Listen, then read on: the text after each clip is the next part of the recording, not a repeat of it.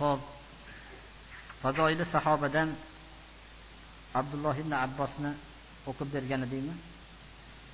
Abdulloh ibn Abbosga kelgan ekanmiz.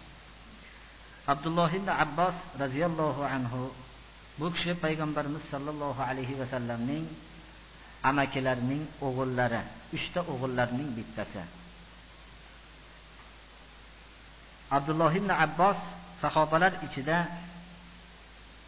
Qur'oni Karimning mohir suratda bilishlik bilan ajralib turadilar. Umar ibn Xattob radhiyallohu anhu Abdulloh ibn Abbosni o'zlarining ulamolar shurosiga kiritganlar. Shu vaqtda Abdulloh ibn Abbos yosh bo'lganlar.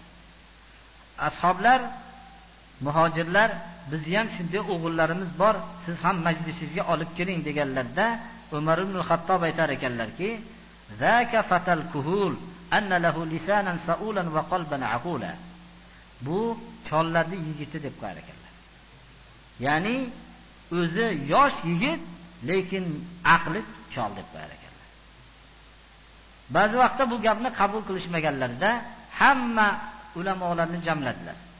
Va shu o'g'limizni majlisga kirgizmaysiz deganlarni ham jamlab bir oyatni tafsirini so'radilar. Hozir kengaytirishni hojati yo'q. Shunda hammalari o'zlarini bilganlarcha ma'no berishganda Abdulloh ibn Abbosdan qani sen nima deysan dedilar. Shunday javob berdilarki, Umar ibn hattob aytdilarki, men Abdulloh ibn abbosni fikridaman dedilar. Shuning uchun qo'shaman deb ishora qilib qo'ydilar. Ya'ni bu maslahat olishlikka yosh bo'lsa ham yaraydi dedilar. Abdulloh ibn Abbos o'zlari Qur'oni Karimda va ma ya'lamuhum illa qalil bularni juda ozlar biladi.